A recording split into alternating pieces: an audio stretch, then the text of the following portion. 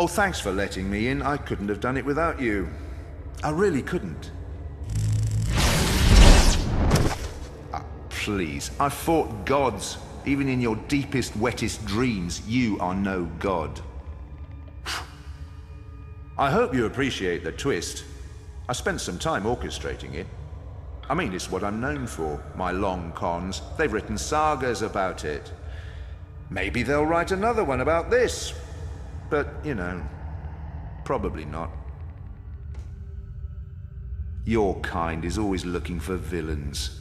So much better to have something, someone to fight than face the reality of it. That what you're fighting isn't physical, it isn't even metaphysical. It's an idea made real. You can't shoot fireballs at an idea. Ideas are like viruses, invisible, all pervasive, invincible. I was a convenient villain because I questioned their authority, questioned the very foundation of our society.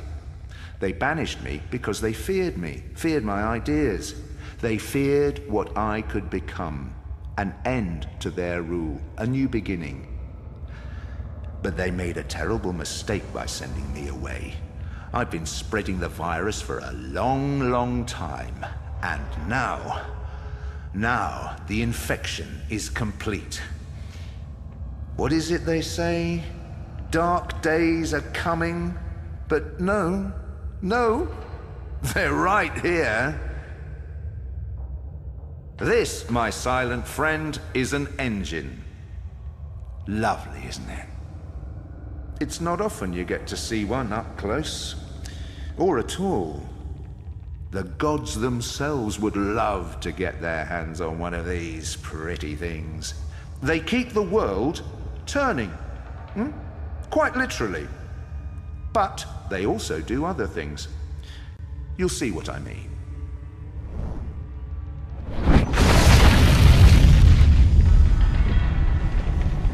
And Yggdrasil shudders and groans. Here we go, All Father, the final destiny of the gods. On my terms, not yours.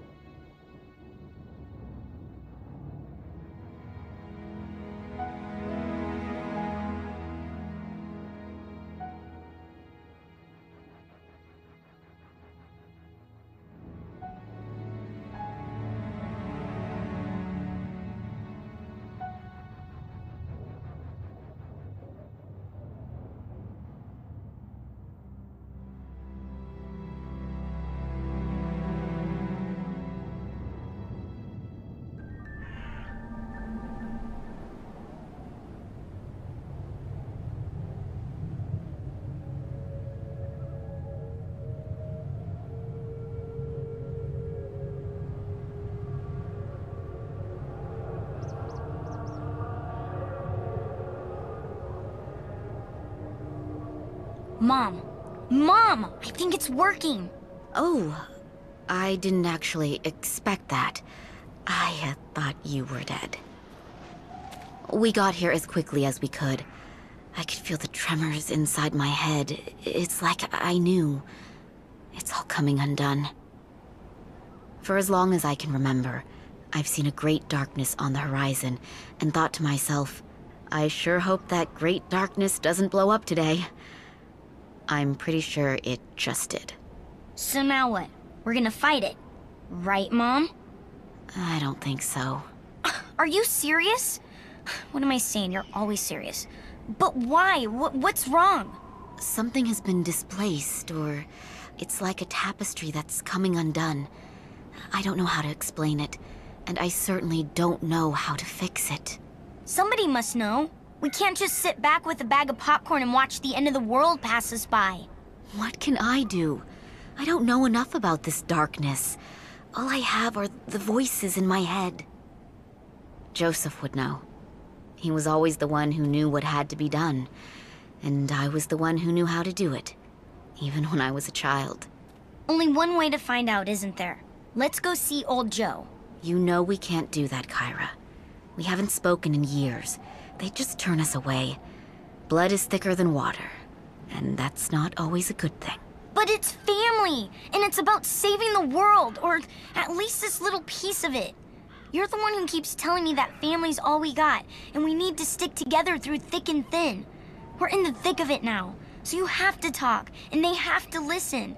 But it's not just me and Joseph. It's Frank and Joe. It's the other people in the tribe. The wounds go all the way back to your grandfather's death. And they're too deep to mend.